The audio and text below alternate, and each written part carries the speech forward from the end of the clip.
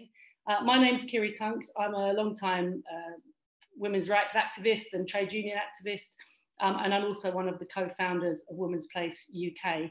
Uh, for those of you who don't know, Women's Place UK was formed in 2017 to ensure that women's voices were heard in the consultation around the GRA, proposals to change the GRA. And we were really determined to ensure that there was a space that women uh, could be heard, that they were part of the debate that was happening, and to make sure that any policy or law that was being made was not being made without taking into the account the perspectives of as many people as possible, because we think that that is how you make good law. Um, so just to be very clear, Women's Place UK is for the human rights of everybody, and we are against the discrimination, harassment and abuse of anybody. It's really that simple for us. But ours is first and foremost a women's rights campaign. We have a manifesto of demands which make clear what our principles um, and campaign demands are. And I'm sure um, somebody will post a link to that uh, manifesto in the chat. We have agreed five resolutions um, or wants, as we call them, uh, which build on the initial demands we made as part of our GRA campaign. And they, these are the demands. Women have the right to self-organise. We want an end to violence against women and girls. Nothing about us without us, which I think is very uh, apt for this evening's discussion. The law must work for women, as is that, um, and sex matters. Now, all of those things drive everything we do. We've held 26 public meetings. We've had one conference, uh, which uh, about a thousand people attended just before the first lockdown. And during lockdown, we have organised seven webinars. So this is our eighth webinar. We believe that only by hearing a range of views can we develop a deeper understanding of the concerns women have and come to progressive resolutions for everybody. So on that note, I'm going to welcome you to Women's Place is holding NGOs to account in what frankly has been quite a week for at least one NGO. Um, as organisation after organisation withdraws from the Stonewall Diversity Champion Scheme, it is clear that there is broad dissatisfaction and real concerns about its activities and its behaviours. We at Women's Place have long expressed our concerns at Stonewall's failure to listen to the concerns of women, especially lesbians, and to reject all attempts at dialogue any organisation serious about equality must want to foster good relations between all protected characteristics. And yet, Stonewall has only ever put up barriers to any such dialogue at the same time as acting against the rights of many women. So let's not forget that Stonewall, along with Scottish Trans Alliance and Gendered Intelligence, have been lobbying for the removal of the single sex exemptions from the Equality Act. It's 60 years since the formation of Amnesty, and if you look at the principles that they were founded on, they talk about being a global community of human rights defenders. They talk about international solidarity, effective action, global coverage, indivisibility of human rights, impartiality and independence, democracy and mutual respect. And yet many feel that Amnesty's concern for human rights doesn't stretch that far when it comes to women's rights. We've also seen recently the, the EHRC has released a, a human rights tracker which shows how far this country has come in terms of uh, human rights in this country. And in particular, there, um, it shows how much there is still to do on a whole range of human rights issues, especially for women. So it seems a good time to ask really, are the NGOs that claim to improve our rights fit for purpose or have they lost their way? What are NGOs doing for human rights? What are they doing right? And what are they doing wrong? What can be done to make NGOs accountable for women and what can, they, what can be done to make them work for women? Is the NGO model intrinsically unworkable and do we need a whole new think about how we organise for human rights? Each of our speakers will talk for about 15 minutes and then we'll take some questions. We have got some questions that we received in advance of the meeting, but if you've got a question, please pop it into the Q&A function and we will uh, do our best to sort and answer as many of those questions. The chat is open. Please keep it respectful. We do reserve the right to remove anybody who can't do that. Um, we are live tweeting at Women's Rights are Human Rights. I've said about the recording, it's only the panelists that are being recording. So I'm going to, without further ado, welcome our three speakers. I'm very pleased tonight that we have Iseult White, Gita Sahgal, and Kajsa Ekis Ekman. I'm going to give an introduction for each of those people just before they speak. Um, so um, it gives me great pleasure to ask Iseult White to kick off this evening. Um, just a little introduction for Iseult. She's an independent director, executive coach, management consultant and psychotherapist. Her letter to the Irish Times about amnesty and freedom of conscience defends quote, legitimate representation to people of conscience. Iseult, we're really glad to have you here this evening. Thank you very much. Good evening, everybody. I'm delighted to be here, delighted to talk about the fact that women's rights are human rights and about the problems of um, attempting to hold NGOs, NGOs to account, and particularly the problems of attempting to hold a global human, human rights organization to account, such as Amnesty.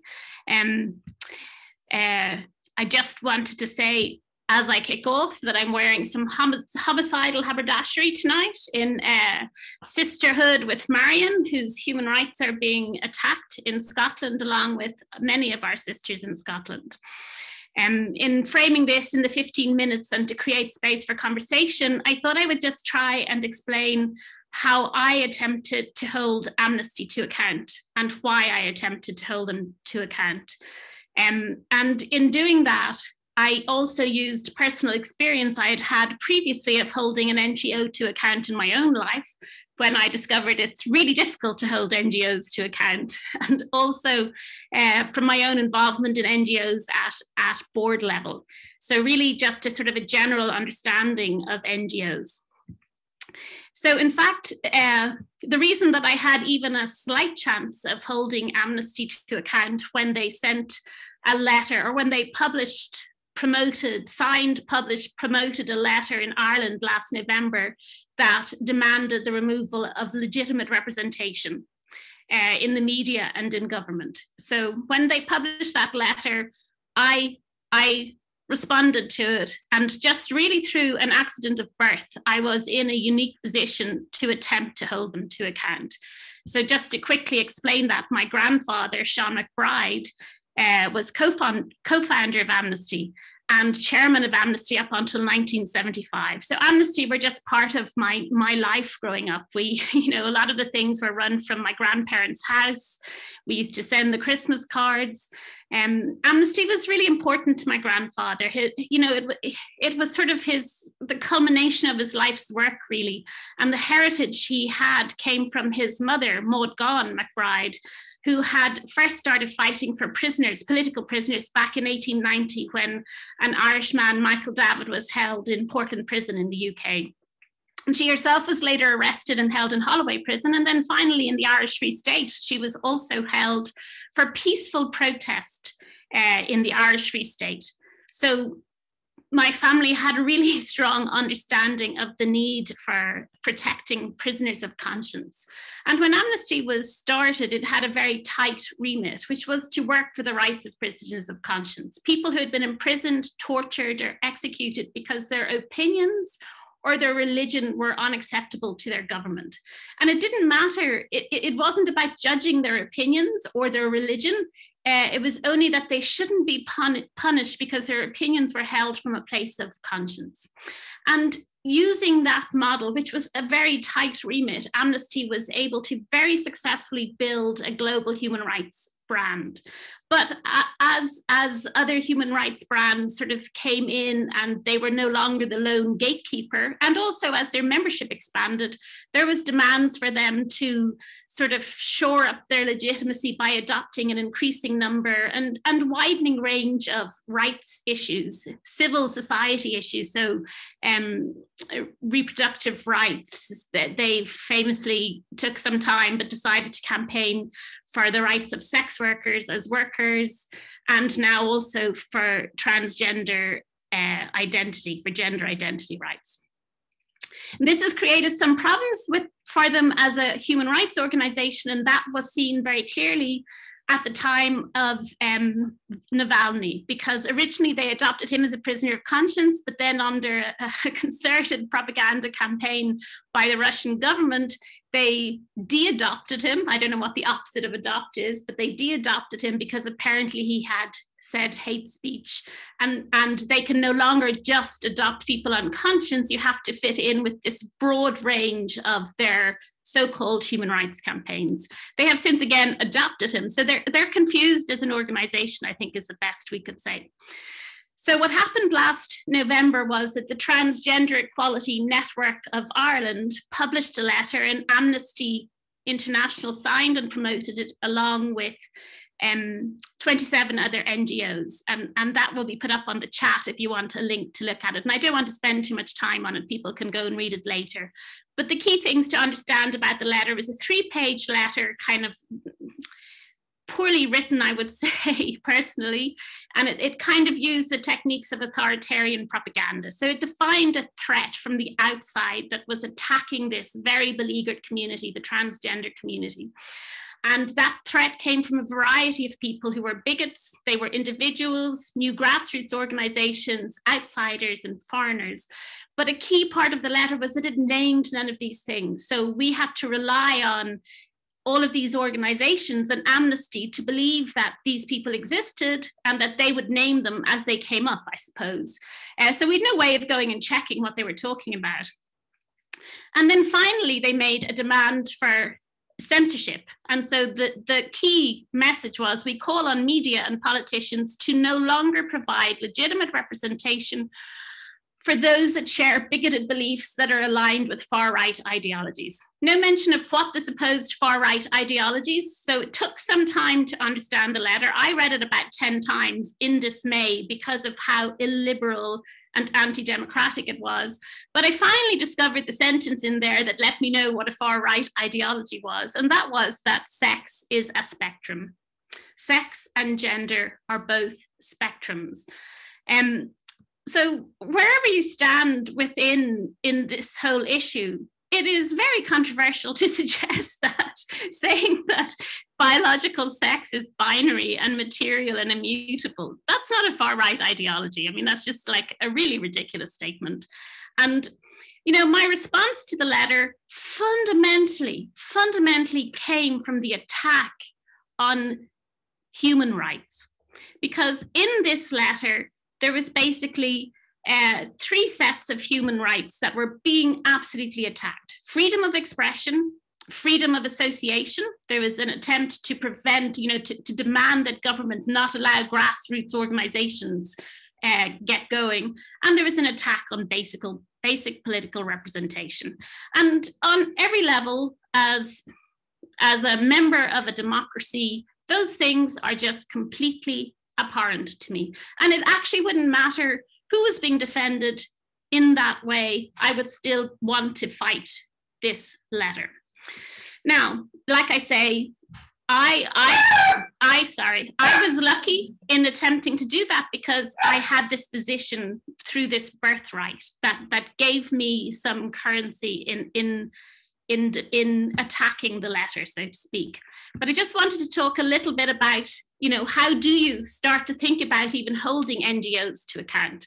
And my answer and response would be it is extremely, extremely difficult to do um, for a number of reasons. One is the relationship between NGOs and the public.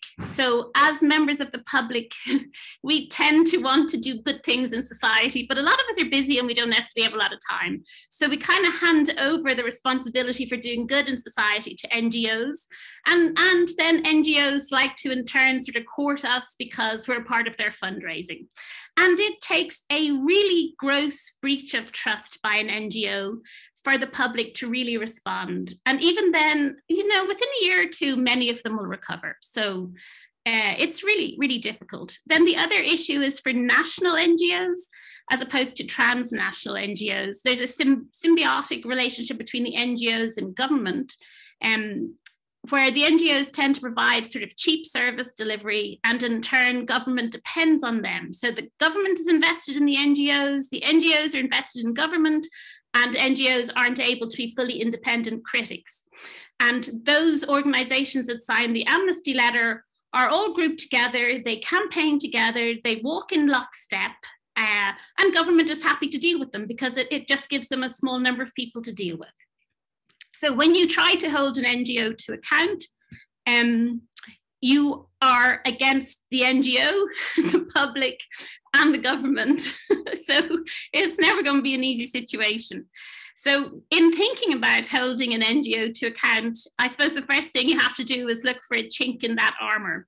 And the ways to think about that is have they departed from their stated purpose? But that really only works if they're regulated. So, for instance, Amnesty, being transnational, is not subject to any regulations uh, um, nationally in Ireland. It's a private company, essentially. Um, I suppose the other thing you could do is if they've done something illegal, particularly something fiduciary, you can always hold them to account. Or if they've done something that puts them in conflict with a major funding source. So either it's a branding headache or in some way they don't fulfill an SLA they have with a funder. Um, but one thing I think that you know always have to consider when you're trying to hold an NGO to account that it should never be perceived as an attack on the beneficiaries of the NGO, and you want to take a very strategic, analytic, method, method, methodical kind of process in thinking about it. So when I looked at the amnesty situation, I realized I had an opportunity to hold them to account on some level because of my background and because they had moved away from fundamental human rights issues that most Amnesty members are concerned about. So I attacked them on the freedom of expression, particularly the freedom of expression, and I started using the chilling effect hashtag. Um, one thing to understand that when you try to when you try to hold an NGO to account, they will probably attack you with everything they have. So you really want to prepare yourself emotionally and mentally for that, and really um, look after your own public image and be prepared to fight back hard. And I, I think a really good example of that is the way Stonewall attacked Allison. Uh, NGOs will happily scapegoat and victimize anybody who gets in their way. And it's not necessarily the individuals in the NGO, it's the NGO as a systemic entity. Um, thankfully, Allison is successfully fighting back, but not everybody ends up having the wherewithal to do that. So I think it's really, really important when you consider uh, if you are going to attack an NGO, that you remember not to attack the demographic they're supporting. So, I mean, I wouldn't attack transgender people anyway. I, you know, they have been part of my community. But the fact that I was able to shift the dialogue completely pivoted from transgender issues just onto freedom of expression issues meant that many people in Ireland who would never have spoken up or got involved if it was about transgender rights actually were interested, read the stuff, and some got involved. And so there was a variety of people who stood up with me and said uh, what Amnesty was doing was wrong. And that did create some amount of a branding issue for Amnesty. And so they came back and attacked us really quite strongly and uh, accused me of, of misrepresentation and attacking their human rights campaigns and all sorts of stuff. Um, but anyway, I was successful in significantly drawing attention to an issue with them. Uh, the next thing, I suppose, is to look at uh, what can you actually do then. And you know, people were asking me, have they got in touch with you? No, of course they wouldn't get in touch with me. You know, can you form a complaint? It's very difficult to form a complaint against an organization like Amnesty because, like I say, you've nothing to hold them account to. I have formed a complaint. I have sent it in formally to the board of Amnesty Ireland. I'm still awaiting a response from them. And uh, I suppose you think about those things strategically. Um, no matter what the response is, I can still use the complaint to, to go further.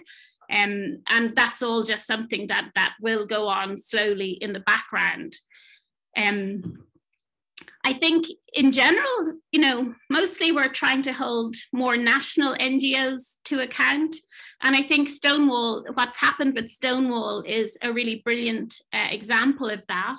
And what's made it possible to hold Stonewall to account is they've essentially been breaking the law, right? Their guidance, their guidance is not fit for purpose with the law.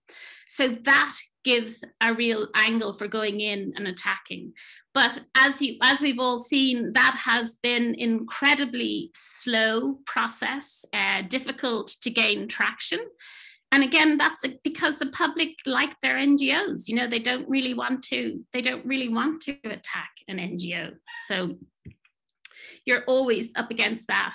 And I suppose I think uh, in in the Stonewall situation in the UK, it's probably lucky that that Conservatives are in government because I don't think Labour would have uh, taken the position that Liz Truss has taken. And, and I suppose then you use all the other tools that are available to you. So when it's a national NGO that works with government, you use FOIs, you track down funding, you track down breaches of SLAs, and you try and work on all of those things. And I think this campaign with Stonewall is how we need to be thinking about holding NGOs to account. And I think NGOs are sort of past their sell by date in many ways. You know, they're very corporatized, it's this constant uh, issue around how they're very focused on getting their next piece of funding rather than maybe thinking uh, on a principled level about the people they're representing. And I think there are real models emerging now of, of like what's happened in the UK of new loosely distributed networks of people uh, doing specific fundraising for specific targets that they can campaign on and really paying attention to where there is a strong energy, a focus, and some kind of natural momentum. And I think that holding NGOs to account it really involves both creating new new grassroots organizations like Women's Place, um, like LGB Alliance, and uh, also finding finding targets that that can be campaigned on. So will I be successful in holding Amnesty to account as a global human rights organization? No, no. So the other thing you need to do is just think really strategically about what you're trying to do. So I've been able to use that uh, very successfully as a tool to educate people in Ireland, to open a bit of a, a space or a wedge that other people can start talking about the issues and to draw attention to the, this constant narrowing of acceptable speech. And there are still many people our age, my age in the world who care about freedom of expression, even though that's not something that tends to be something that younger people care significantly about. Uh, but I think I think it's about also thinking that everything you do is, is everything you do is an opportunity to do something. Uh, so every time you speak up, it's an opportunity to make a point, to to provide information, to provide links to things that people who lurk on Twitter and other places like that um, uh, see. And you find that that that in doing so, it's much easier than you think to speak up. It's worth doing, and people support you in ways that are oblique. They don't necessarily come out and say, way go Iseult, look at what you're doing, because nobody in Ireland has really done that apart from some women.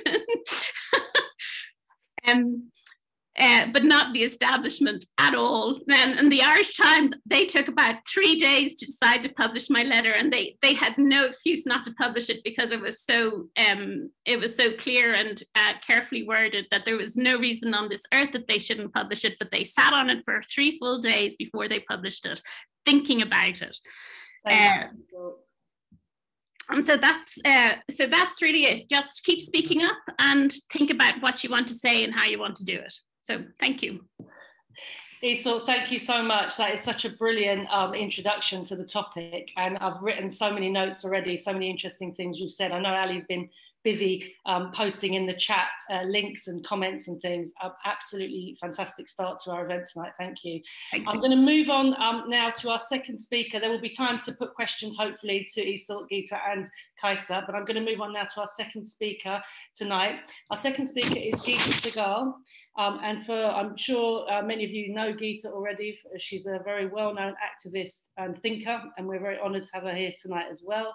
Um, she's a writer and journalist on issues of feminism, fundamentalism, and racism.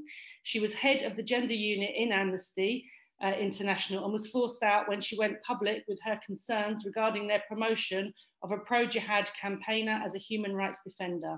Gita is also a documentary films director and a women's rights and human rights activist. Gita, you are very welcome here this evening. Thank you, Kiri, and thank you, Women's Place, for having me. Um, I'm really pleased to be here and also uh, extremely nervous, but I'll get right into it because I know you want to stick to time. Um, and I know that lots of people actually have, have no clue what this is all about or what I'm going to speak about. So most of what I'm going to say is explaining what happened 11 years ago, I was suspended from Amnesty International for talking to the Sunday Times. And a few months later, in spite of making headline news all over the world and generating petitions in my defense, signed by feminists and human rights defenders everywhere, I was forced out of the organization. When I was suspended, I issued a statement.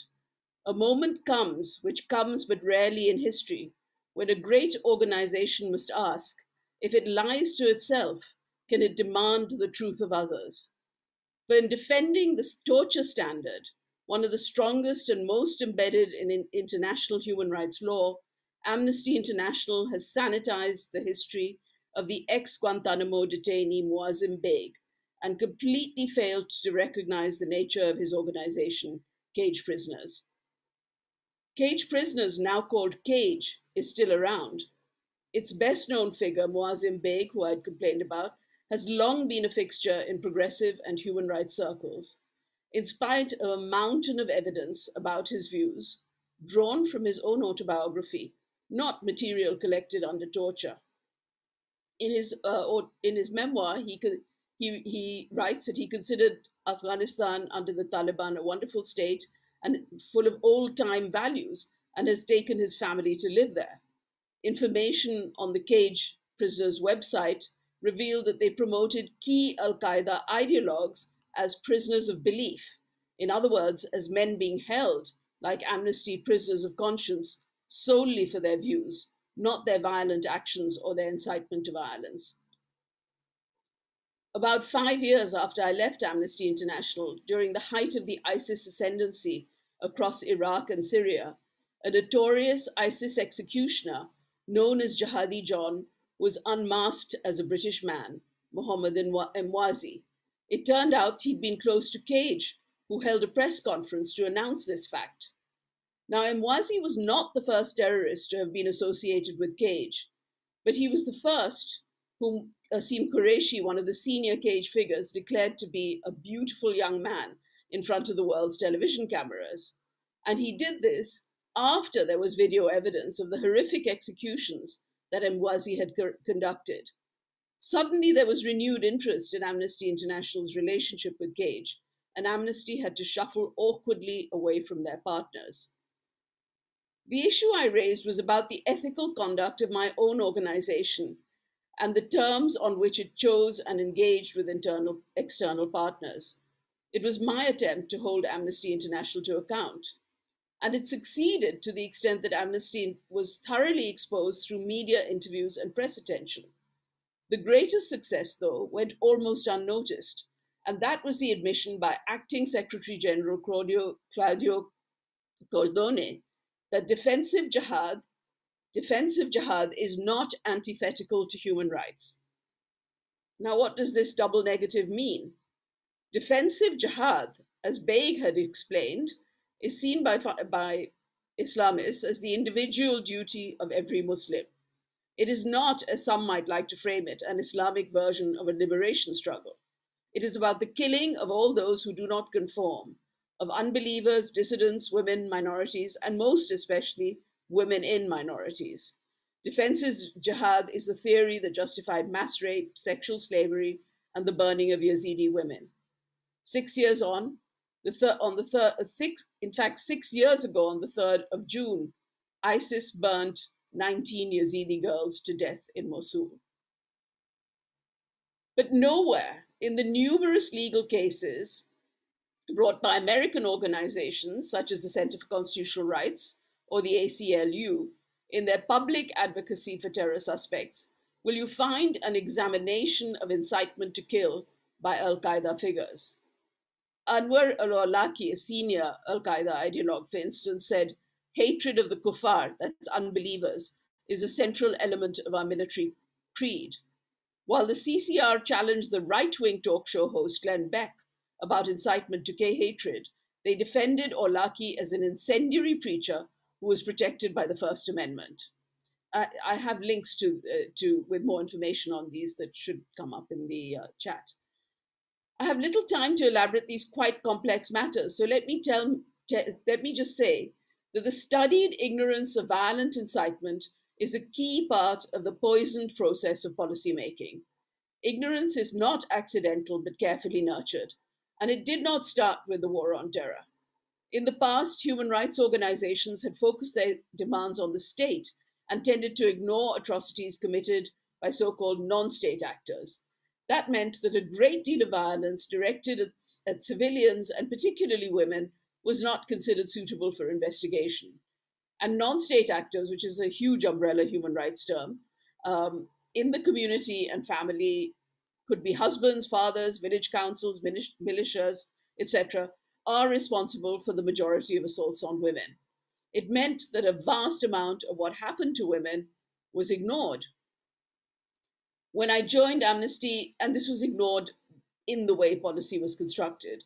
So when I joined Amnesty in 2002, they had failed to determine any genocide had taken place in the 20th century. I'm talking about after the founding of Amnesty and after the, the broadening of the mandate that Iseult talked about nor had they collected the kind of evidence that might have assisted a court in determining a genocide. Rape had been ignored in Bangladesh in 71, where the Pakistan army and its allied Islamist death squads had run torture centers and held women for rape. In former Yugoslavia and Rwanda, Amnesty had found no evidence of rape. A global campaign to stop violence against women, women, for which I was responsible as head of the gender unit, was supposed to address some of these lacunae. But as I described in two conversations, which should also come up in the chat, once women were subjects of human were considered subjects of human rights, human rights lawyers fought hard to ensure that women's experience of violence did not sully the carefully constructed human rights norms around torture and terrorism. But the problem did not start with the war on terror. As Marieme Hélie-Lucas, who founded the network of women living under Muslim laws, revealed, Three women who were members of Amnesty Algeria asked that Amnesty reports on violence in Algeria did not only concentrate on state violence against Islamists, but also investigate Islamist violence against civilians. For raising this matter internally, in very much the same language I used with Amnesty, they were expelled in the 1990s. And, and that's why the admission that Amnesty had no problem with the key ideological um, uh, the key ideology of Al Qaeda um, was such an important admission uh, to, to have achieved. Um, and, and, and I see that as a success of accountability. When Amnesty finally began to discuss a position on abortion, it was a victory that a policy position finally emerged after six years of discussion which enabled Amnesty to oppose the criminalization of women having abortions. But the language was nowhere near a feminist position that women should have control over their bodies. So, looking back, I was successful in framing the argument as uh, the issue as an argument within hu the human rights movement rather than an attack on the idea of human rights. But I utterly failed to shift the culture of human rights organizations. And the issues that I'm raising are um, far wider than Amnesty International. As I said at the time, the tragedy here is that the necessary defense of the torture standard has been inexcusably allied to the political legitimization of individuals and organizations belonging to the Islamic right. It need not be like this, I wrote at the time. It is the majesty of human rights law that rights are inalienable, and torture in particular admits of no exception. There is no need to massage the facts, sideline or denounce those who challenge them. There is no need to create a highly partial account, in effect, a narrative of innocence. But in opposing torture, Amnesty uh, International and indeed Human Rights Watch, Reprieve, the Center for Constitutional Rights, and many other organizations around the world had deliberately failed to recognize that the victims they were defending could also be perpetrators these views were seeded in organizations and donor foundations throughout the progressive world and affected their policies too, freezing out secular ad advocates, ex Muslims, and anyone who challenged this warped but dominant version of human rights. As I watched recent events unfolding, the hounding of feminists, women losing jobs for speaking out, and the creation of a belief system where violent individuals are characterized as ultimate victims, I am in familiar territory. This is the rerun of a movie we have seen many times. For us, it may be a horror film, but for some viewers, it is a romance between a muscular, hard edged human rights legal framework and the wispy floating signifiers of queer and gender theory, whose high priestess is Judith Butler and whose Bible is the Yogyakarta Principles. But this romance is also a remake. By tortuous means, Butler's acolytes, the academic Saba Mahmood and Humeira Iqtidar, uh, two Pakistani um, origin women, managed to drag, to use the drag queen example to, to exalt the piety of violent fundamentalist Muslim women and sanitize their organizations. I mean, this is really quite bizarre. And to find out how they did it, you'll have to read two other brilliant Pakistani women, Sadia Abbas and Afiya Shehrbano Zia, who have taken apart um, these narratives. So, in my reading, the love of Islamism preceded the current ascendancy of a misogynist version uh, of pro trans activism. But these are probably polyamorous circles and quite able to conduct several unlikely romances at the same time. And indeed, it's the same people within the human rights organizations who are promoting both these narratives. So, queer theorists, many in gender studies departments, have been central to the attack on secularism and the idea of universal human rights. And this, of course, is curious as they're simultaneously promoting their genderqueer views globally. The accountability work that I have done since I left Amnesty, with several wins, is to do what feminists have always done. We have led and created our own campaigns, not waited for human rights organizations. So, working with secular women's groups in the One Law for All campaign, we successfully used equality law to challenge discriminatory legal guidance produced by the Law Society uh, and, and guidance on gender segregation by Universities UK. Uh, by this, I mean sexual apartheid and very different from autonomous single sex spaces.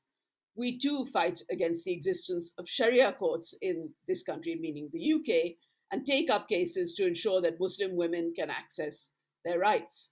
But the courts are very uncertain fora and our clashes with the British government have taught me the problems we are up against are not only on the left.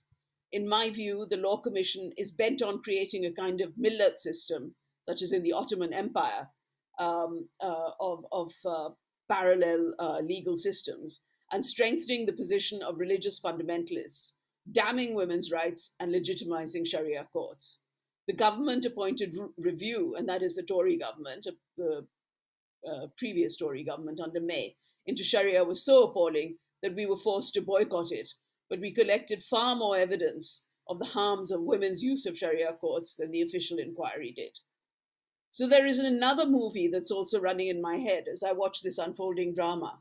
My challenge to Amnesty was on the ethics of partnering. In what, and uh, so, and in effect, that that movie is about what kind of buddy movie are we in? Who do we work with? And what are our red lines? I am alarmed at some of the discourse on gender, which fails to recognize the use of the word as feminists have classically used it, to mean the social construction of roles and norms and behaviors of each sex. I don't believe that male violence or sex based violence captures it entirely. Where the bonds of patriarchy have not loosened Women are often the prime perpetrators of violence against women or girls, often against their own daughters. And the language of gender based violence has been used by women all over the world to mobilize and indeed inserted, inserted into the human rights framework uh, to, in order to insert the concerns of feminists. We should not abandon it. Conversely, the term gender ideology is used by gender critical feminists, many of whom do not know that is also used in completely different ways by far right governments and by the Vatican to attack feminism, lesbians, and gays and trans people um, in ways that we should all, if we oppose discrimination, be firmly against. These are not groups and people and organizations that we should in any way be allying with.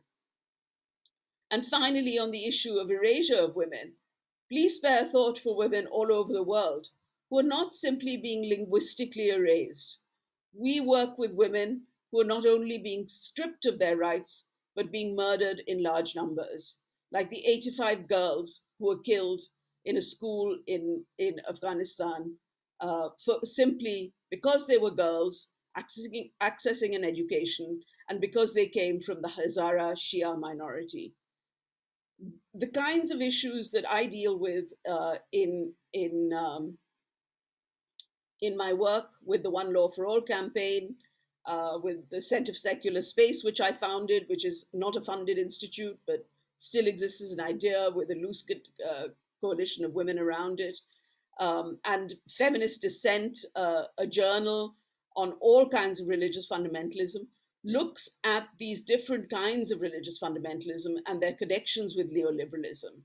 For instance, the, the um, rape ideology that I described as central to defensive jihad has its counterpart uh, in the ideology of Hindutva, which I described in an article, Hindutva Past and Present, uh, where at the foundation uh, of this ideology of the Hindu far right uh, and of the of the ruling party in India at the moment, um, the rape of Muslim women uh, is uh, has been mobilized as a central uh, element of hate.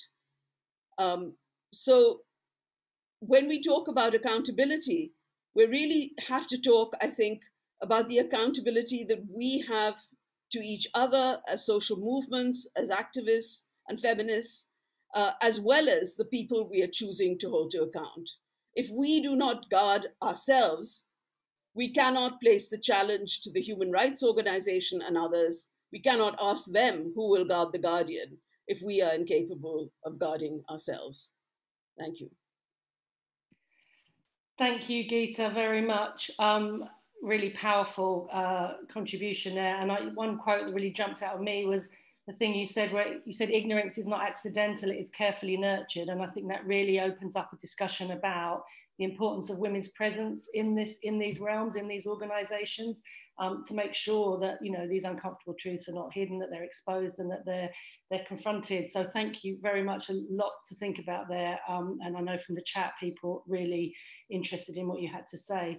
Um, so we're going to move on to our third speaker now. We're, we're delighted uh, to have Kajsa Ekis Ekman here. I'm just going to introduce you Kajsa um, thank you for being here. Kajsa is a Swedish journalist writer and activist she is the author of several works about the financial crisis, critiques of capitalism, and women's rights.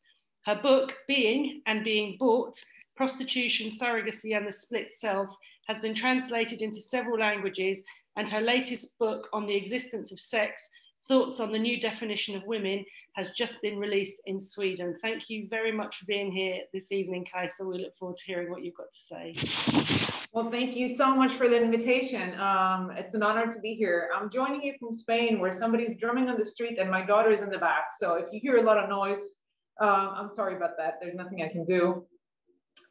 So um, the big problem with NGOs, I would say, is the reputation in most people's minds, uh, an NGO means uh, an independent organization working for human rights, i.e., the good guys. So when an NGO takes a stand and some question, people think this is the correct position. I mean, how many articles don't mention in passing that Human Rights Watch says, or you know, Venezuela say, uh, uh, on Venezuela, or Amnesty says on Syria, and and people don't know what is behind. How has this report been conducted? And that reputation in itself is why NGOs are so attractive to take over by vested interests and why they have been targeted by organized efforts since the 90s and pressured also into taking a stand on more and more issues that don't relate or are not relevant to their core goals. Um, this includes the geopolitical powers of the world. I mean, to have an NGO state, for example, that human rights abuses are going on in a country right before US invasion will take place. is free war propaganda. It also includes economic interest, for example, when it comes to sex, to the sex industry, which I researched in my book. So since the 90s, the sex industry has been specifically targeted, uh, specifically targeting NGOs, both with efforts to obtain a favorable position on their issues and to receive funding. So much of this funding, as academic Jennifer Oriel has shown in her dissertation, was given as HIV AIDS prevention and ended up in the hands of the sex industry. So groups have been funded and founded and able to grow, claiming they supported the rights of sex workers and helped prevent the spread of AIDS. When in reality, these rights were about uh, printing leaflets on the wonders of being a prostitute or a sex worker, as they would put it.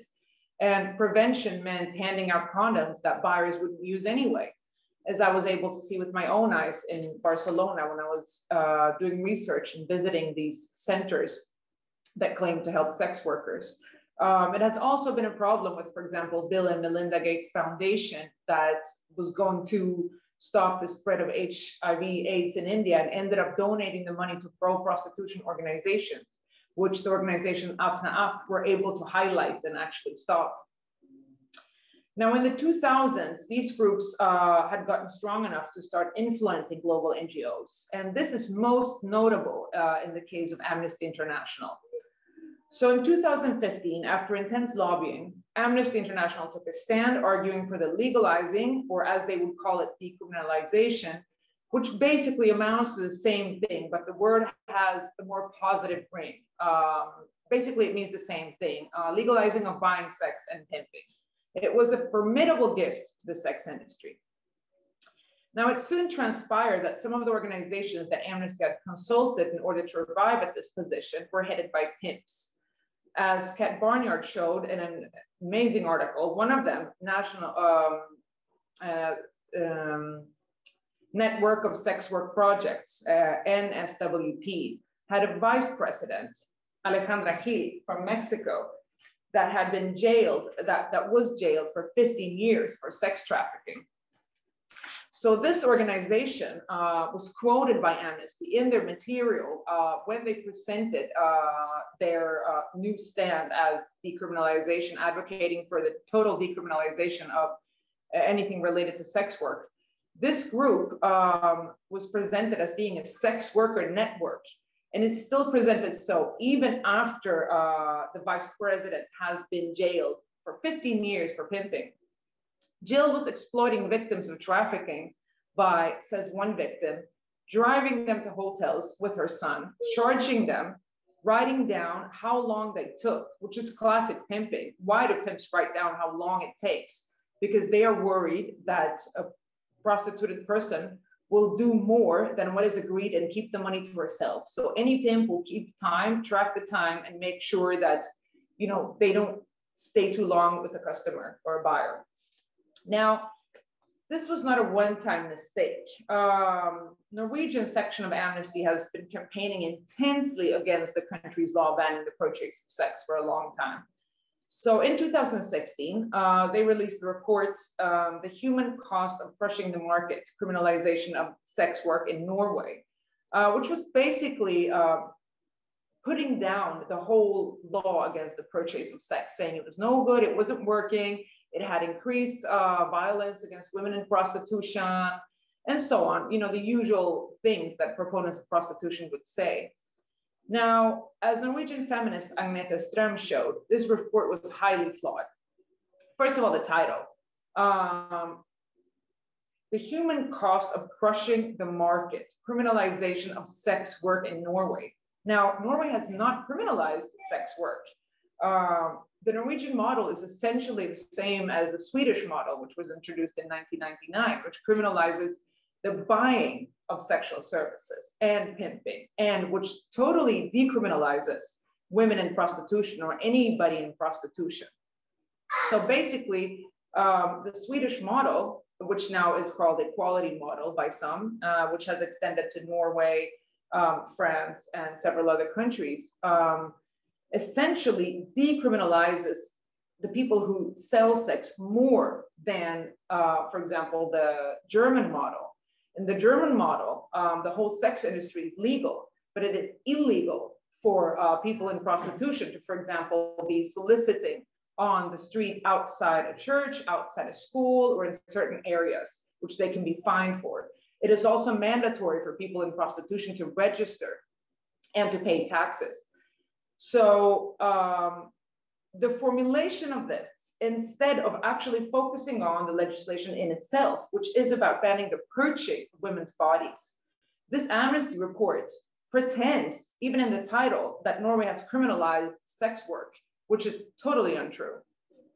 Now, second thing, the material uh, that this report uh, is using uh, to show that to engage in sex work has become more violent in Norway, for example, is before dates to before 2009 when the law was passed. So basically, they have been interviewing people in prostitution and academics on how it is to sell sex in Norway and use that material to show that th these experiences are because of the law, when in fact these experiences date from uh, years prior to the law. Third thing, um, this report was not an investigation. It was a collection of quotes from pro-prostitution academics um, four, there was no statistical evidence for the fact that violence has increased. In fact, this myth that violence against women in prostitution um, has increased because of laws against uh, the purchase of sex is a myth that is very efficient uh, because what it does is it avoids looking at the buyers of, of prostitution. It avoids looking at the pimps. And it basically purports that prostitution should exist and be legal for the women's sake. Now, the same thing has been stated in Sweden many times, also unfounded. Uh, when we evaluated um, our sex purchase law, it, uh, the report concluded there was no proof that violence should have increased because of the law. On the contrary, um, we have not had a single murder by a buyer or a pimp of a prostituted woman since the, since the middle of the 80s. Whereas in Holland, where prostitution is totally legal um, and the whole sex industry is is uh, is, is, is legalized and uh, basically owners of brothels are considered businessmen. Um, there are 13 women killed every year in prostitution. So despite this, the Amnesty report um, kept on um, disseminating the myth that if you ban the purchase of sex, violence against women will increase. So the only way for men to stop beating up women in prostitution and the only way for men to stop killing women in prostitution is to let men buy women in prostitution. Now, fifth point about that uh, report, it was a misrepresentation of victims' voices. As um, one trafficking victim that was quoted in this report complained saying that her opinion that the sex purchase law, as it's called in Norway, was a good thing, was omitted from the report. Um, now, when it comes to Sweden, this is very interesting because, as many of you might know, the Swedish section of Amnesty International voted against um, uh, prostitution uh, being decriminalized. So, also 2,000 members of the Swedish section of Amnesty left Amnesty International which was you know the biggest drop in members that they've had um, in history. Many were appalled. And uh, you know, people were saying, well, writing letters to political prisoners is not the same thing as defending pimps, right? And uh, you know, also you have to take into account that in Sweden, um, over 80% of the population support the, uh, supports the ban on the purchase of sex, uh, meaning that this law is kind of very anchored within the population itself, which might explain the fact that it was the Swedish section that voted against. But it's very interesting that even so, um, the head of women's rights in the Swedish section of Amnesty seems to have very little understanding of the issue and has said numerous times that Sweden now should evaluate the law, which she said after the Norwegian report, uh, not seeming to know that we had evaluated the report just six years prior to that. Uh, I mean, should it be evaluated every year that somebody realizes we have this law?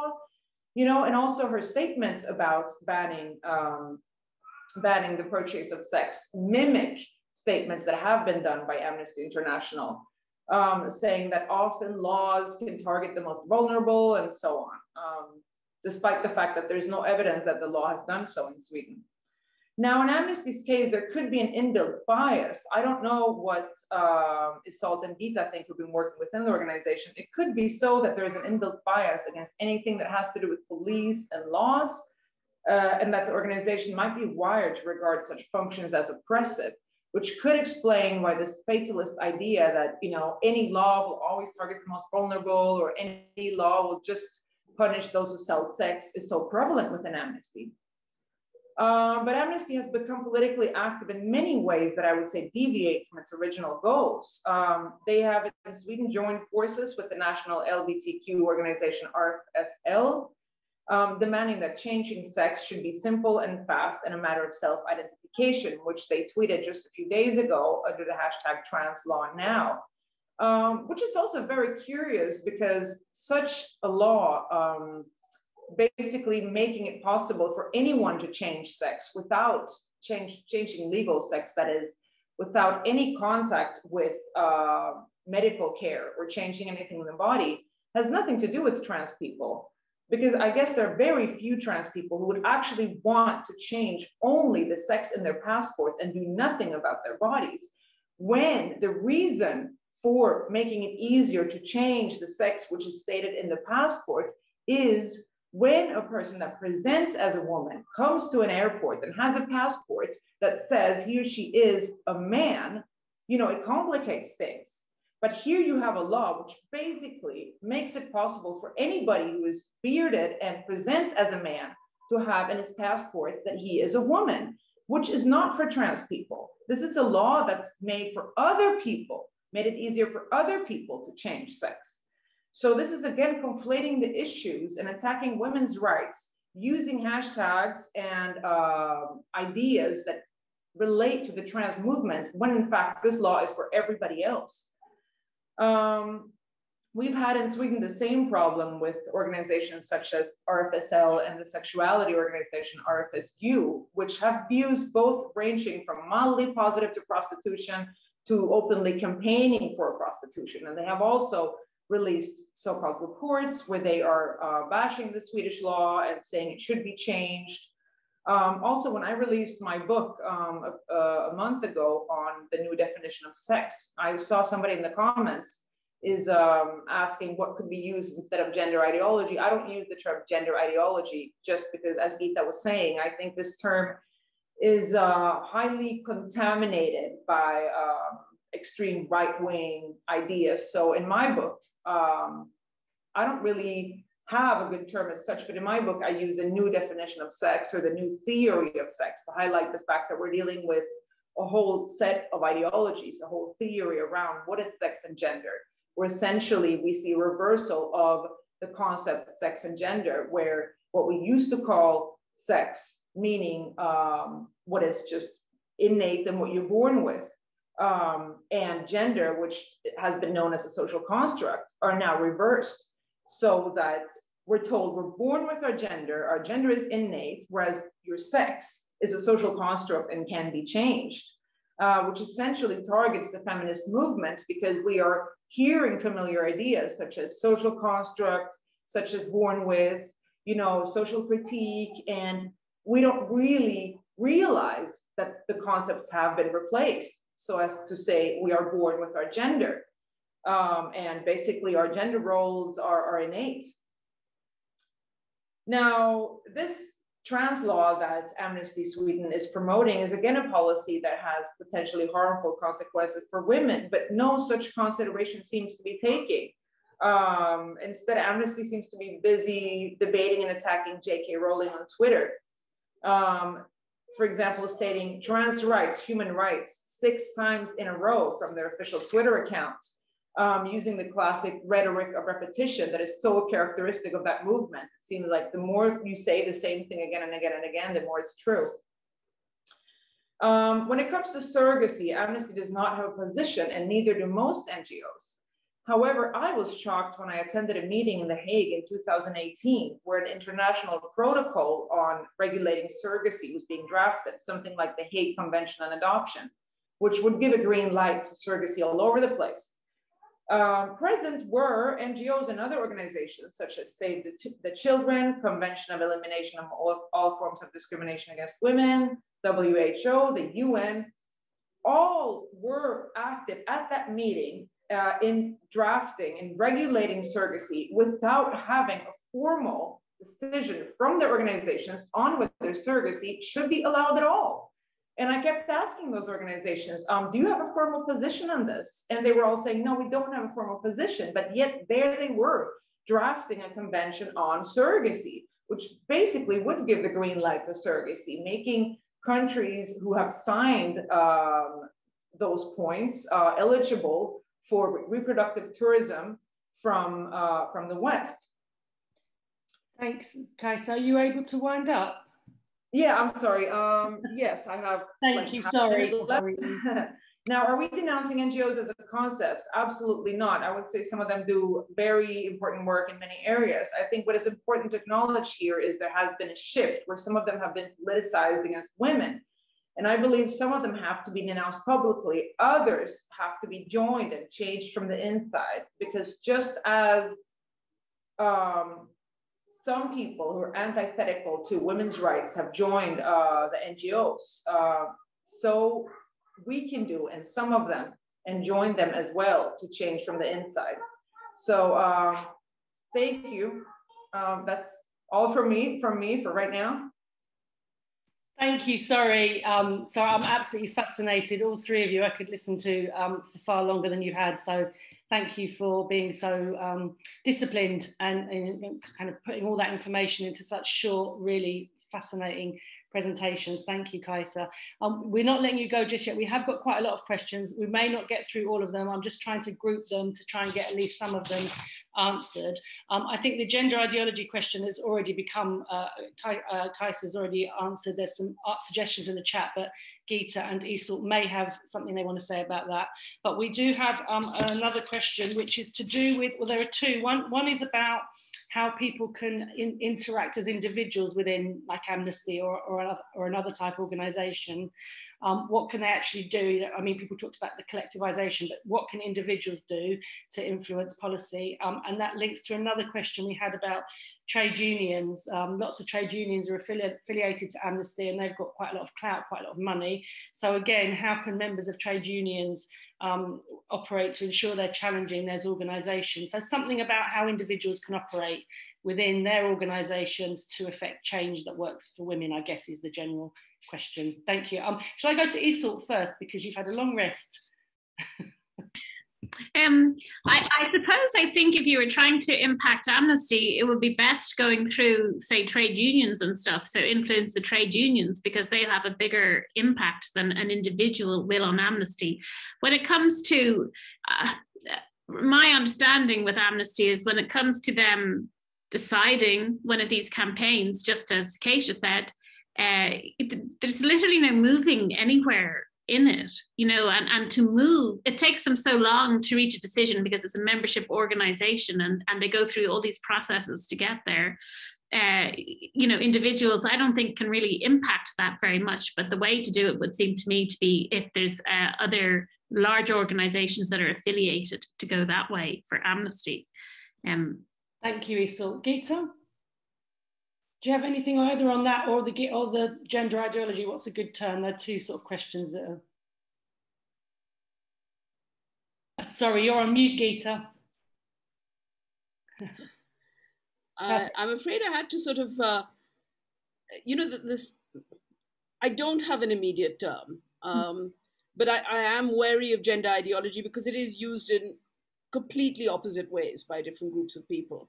Um, and I would, as I said, I would I would like feminists to go on using gender in the way we used to use it, which is about the social construction of, of, of sex, you know, um, because without that, we, we lose that distinction between the way people are born uh, and the way in which they are um, socialized. And that was a key understanding of feminism, various feminisms of the old days. Um, which has been completely lost. And I, I you know, I don't think personally that it could just be re um, replaced by sex-based rights or other things, not least because, as I said, women are always often um, the perpetrators. So no, I don't have an answer to that, but I think it's something we should discuss and discuss, you know, in, in, in our groups and movements and so on. On the issue of how to influence NGOs, I mean, I, I agree with Kajsa that you can some NGOs, um, and Amnesty is a membership movement, it can be influenced, but it's a long and thankless task. And you may decide that your time is far better spent getting on with the work than in uh, doing, and, and, and the ways of influencing are very similar to trade unions. You put forward motions, their annual conferences, you, you know, there, there are, uh, apart from the trade unions, there, there used to be other networks. There used to be an LGBT network and a women's network and so on, and, and they fought uh, within Amnesty. Um, unlike the whole debate on abortion, which was a movement wide debate. Um, so the good thing about it was that it was debated very widely. The very bad thing about it was that it, the terms of it were constantly narrowed, uh, so that the, the position adopted eventually uh, was extremely conservative.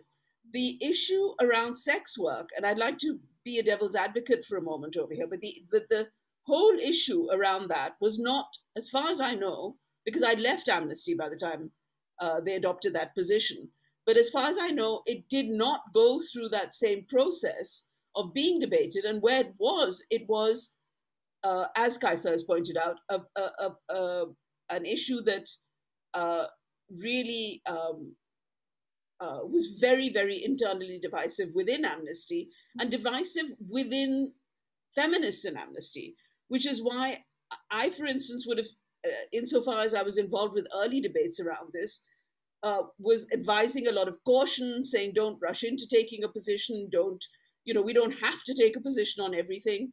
Um, just relating a moment to what Iseult says, that Amnesty had widened its brief uh, in many ways over the years, but it had done it through the demands of its membership um, and through a process of debate and adopting different positions. That was not, as far as I know, really gone through thoroughly in the whole um, decriminalization, prostitution, you know, using the language of sex work versus prostitution, and so on. However, let me let me try and argue on Amnesty's side, as it were, for a moment. Um, I mean, without in the least, uh, you know, not disagreeing with the the, the things, the facts that uh, Kajsa brought out.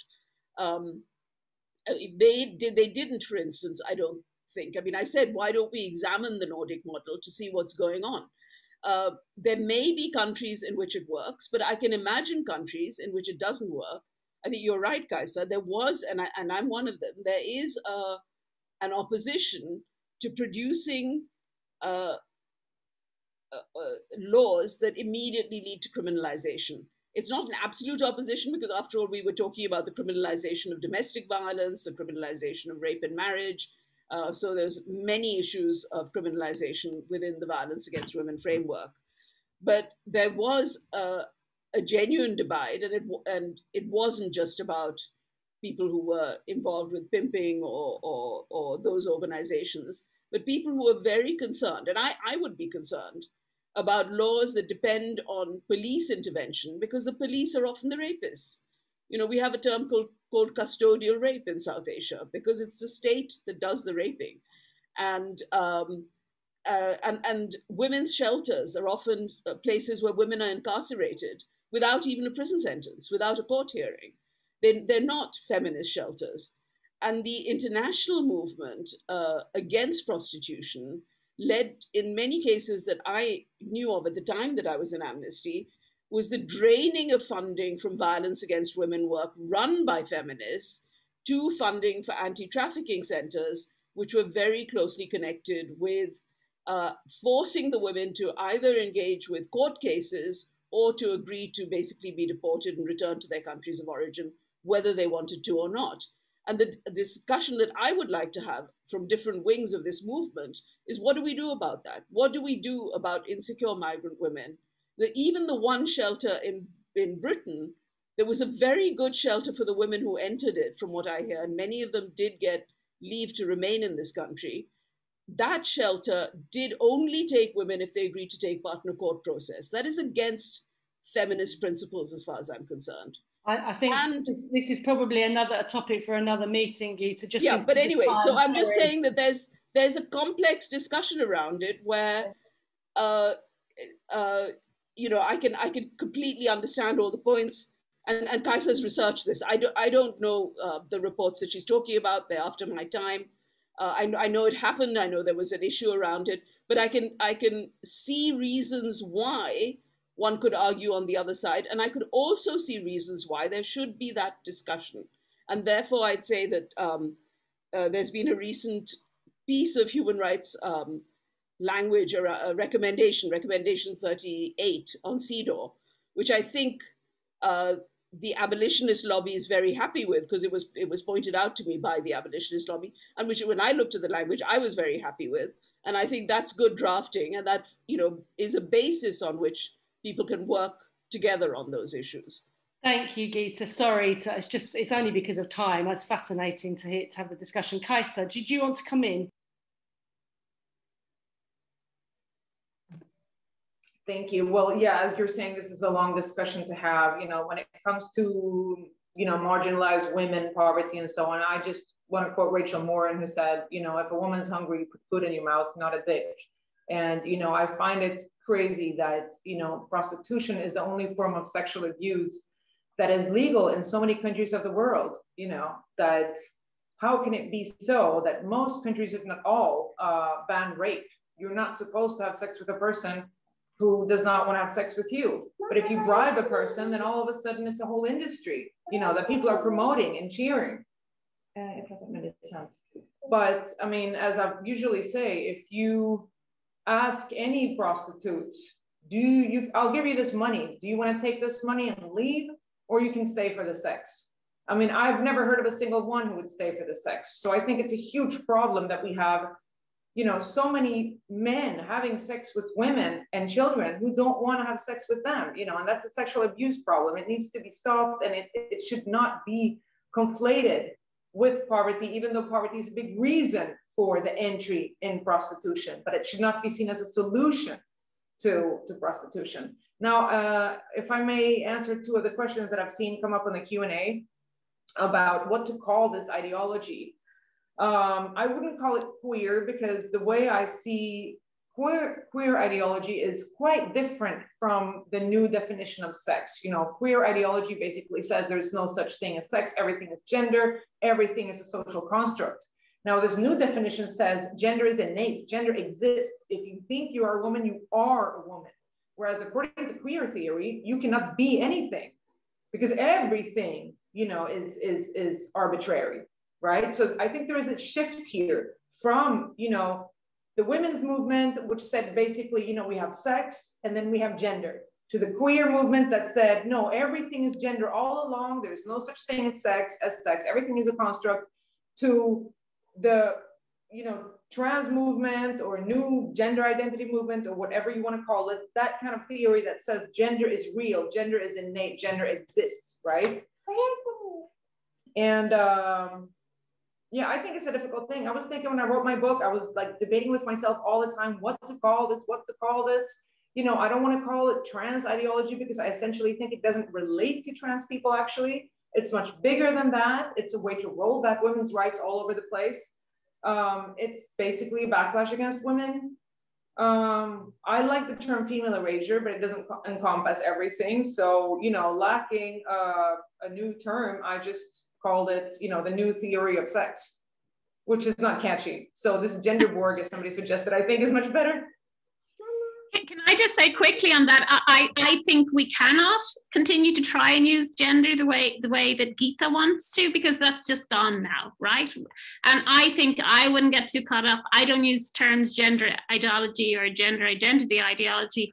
I think the most important thing is to find simple language to explain to all of the normal people out there who have literally no idea what's going on and what it means. And that's the real focus that we should be having is how do you simplify this, uh, take it away from theories, explain it practically so people understand what the impacts are.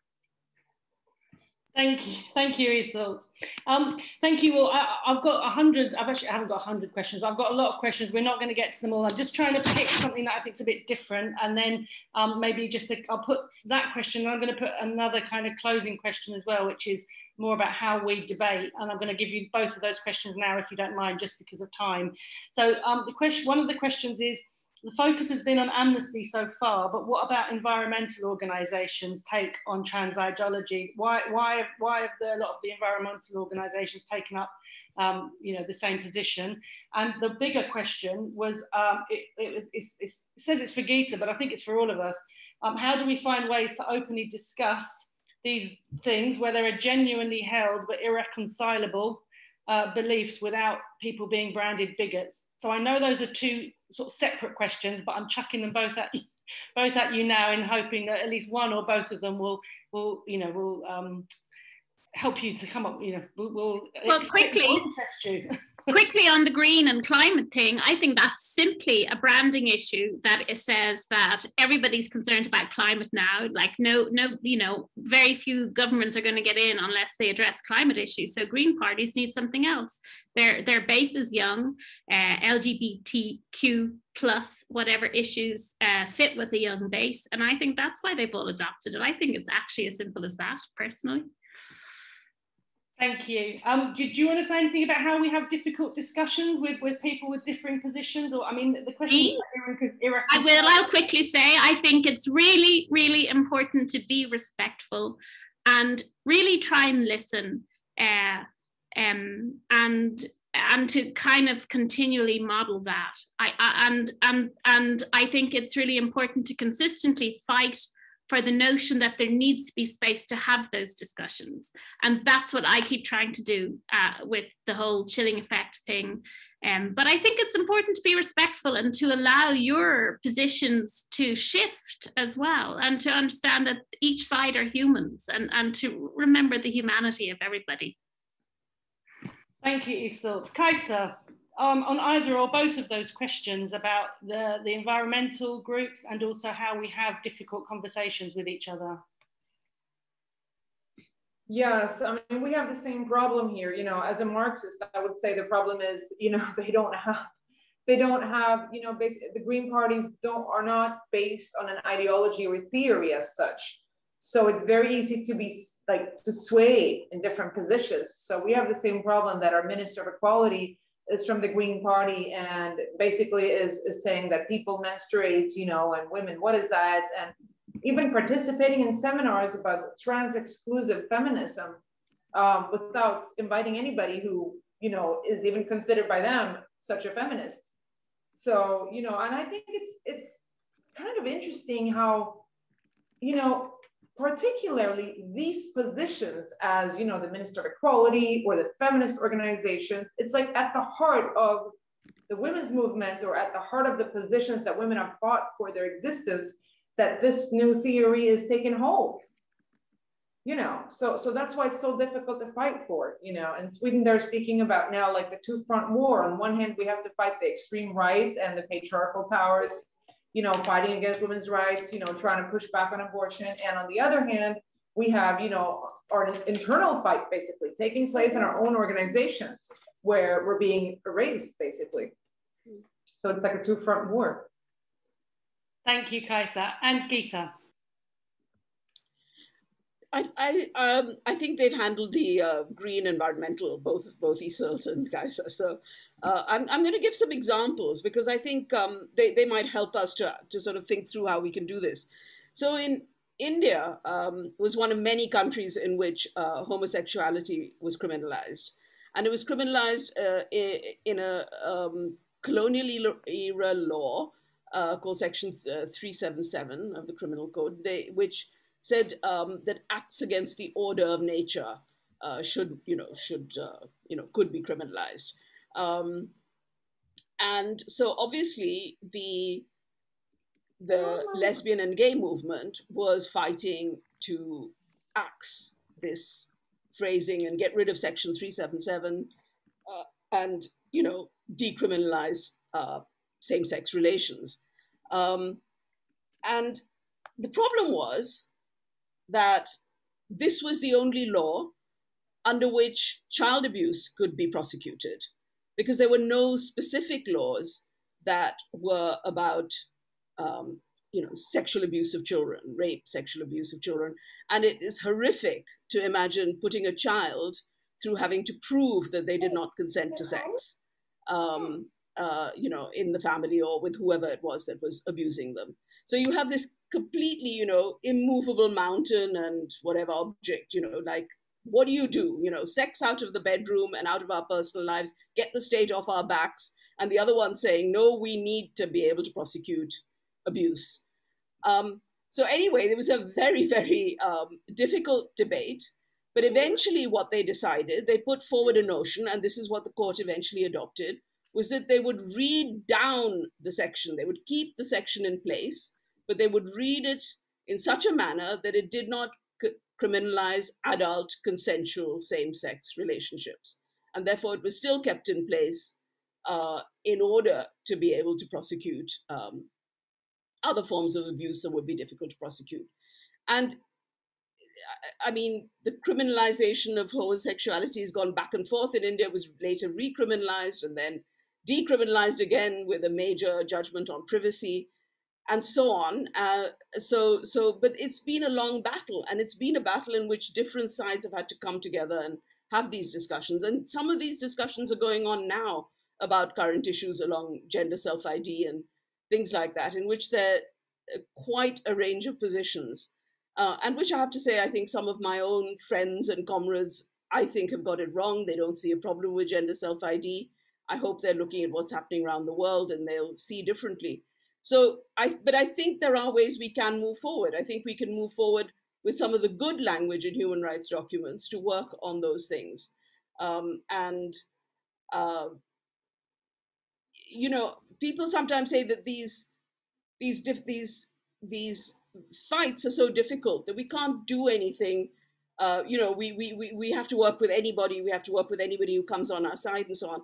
And at the beginning, Iseult looked at the really inspiring um, examples of her family, her grandfather and his mother, and so on. And my parents were also situated in a similar struggle, which uh, took a lot of inspiration from the Irish struggle for freedom.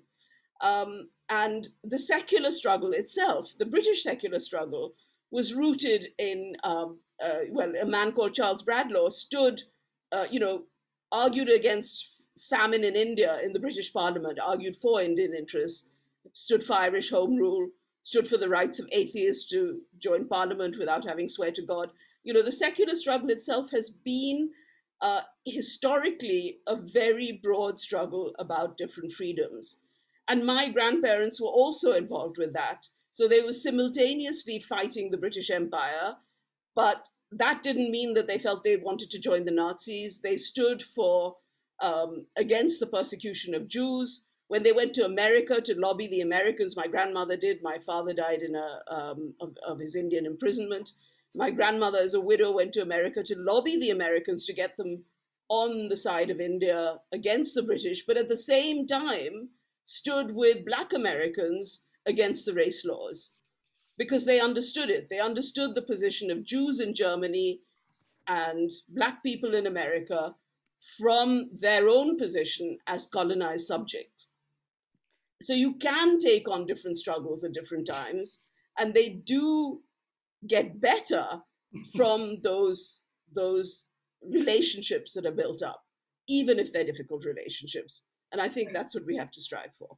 Thank you, Gita. Those are really good words, actually, to draw our meeting to a close. And um, I know a lot of people are already saying that they're going to have to watch the whole meeting again because everybody said so much that they're going to need to actually watch it again to catch up with everything that's been said. So thank you so much. And you're absolutely right that we women generally, but women in particular have always faced difficult fights, and we've always uh, faced what look like immovable mountains, and um, we we have never let that stop us for fighting for our rights or let that perturb us, and we're not in uh, we're not about to do that now, and that you know I'm I'm certain of that. The last few years in this struggle has really brought home to me, and I'm sure many of us just you know if if if our rights are attacked we will organize and we will come together and we will have those difficult conversations even at personal cost i know in some cases. So um, thank you all three for being here tonight. Um, really really fantastic contributions. We, i'm going to have to go and listen to it again myself. Um, so thank you for that. Um, i want to also thank the backroom team uh, thank you you don't see them but they're beavering away behind the scenes to make everything look like um, there's, you know, it's all straightforward and streamlined. So thank you very much to the people behind the scenes. And thank you to all of the people that attended here tonight um, from all over the world. You know, these meetings are always an assembly of the global sisterhood. Um, and it, you know, however miserable we feel or however down we feel, when we come together like this and we realize that we are not alone, um, then I think it really gives us the power and the strength to carry on. So thank you so much for coming. We'll get the film up as soon as we can. Um, thank you to Gita, thank you to Iseult, thank you to Kajsa for really incredible presentations this evening. Um, and we hope you have a lovely rest of the evening tonight, wherever you are. Thanks for coming. Bye-bye.